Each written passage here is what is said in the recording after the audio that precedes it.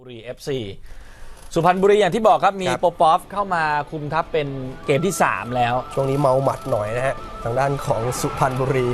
เริ่มมา 13 นาทีลุยเข้ามาแล้ว เกือบเหมือนกันครับ จังหวะของเก่งกินี่ครับผู้รักษาประตูของสมุทรสงครามมาอยู่นี่ และลงตัวจริงด้วยนัดแรกด้วยยุทธศาสตร์นะครับ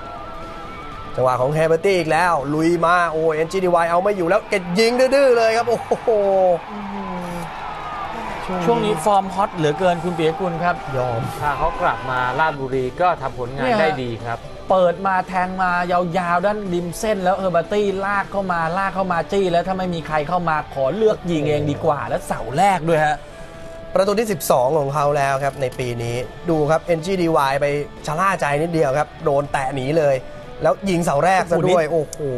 ต้องบอกว่าปิดเสาแรกค่อนข้างเกือบจะมิดแล้วนะครับ คุณเบียกุล สุพรรณได้ลูกตั้งเตะครับดิยอนลิเดมันก็ยังไม่ผ่านคนนี้ครับกริดวงมีมาช่วงนี้ก็เงียบไปหน่อยฮะด้วยผลงานของทีมด้วยแล้วซ้ายคอสมาเหมือนจะเป็นการเปิดแล้วครับ แต่ว่าบอลพุ่งเข้าหาประตู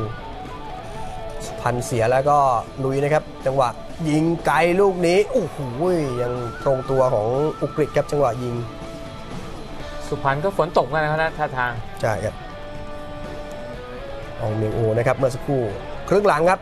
มาอีกแล้วเฮเบตี้ตอกส้นมา ในกรอบเขตโทษแล้วเลือกเลยครับ โอ้โห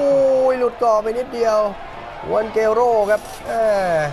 นี่ลงสนามนัดแรกในลีกนะครับในลีกครับนี่ยิงประเดิมไปแล้วครับ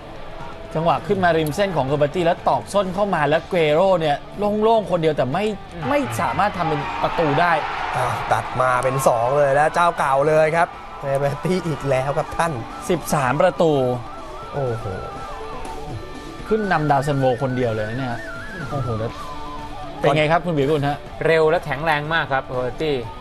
คือมีอยู่ช่วงหนึ่งอะครับ หายไปแล้วนี่กลับมาแล้วดีกว่าเดิมอีก มั่นใจครับตอนนี้มั่นใจสุด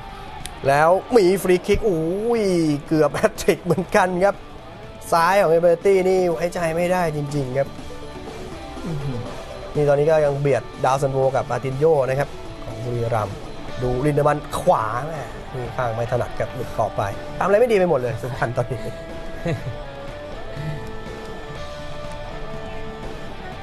แล้วดูจังหวะของ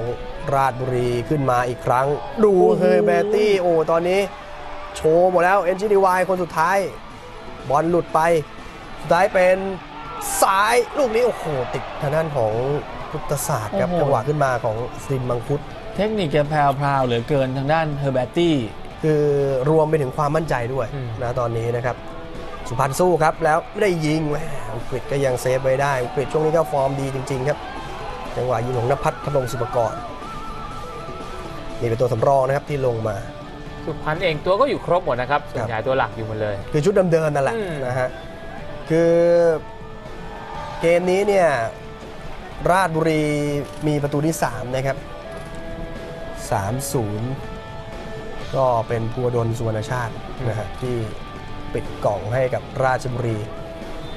โอ้โห สกอร์เห็นสกอร์แล้วไม่น่าเชื่อ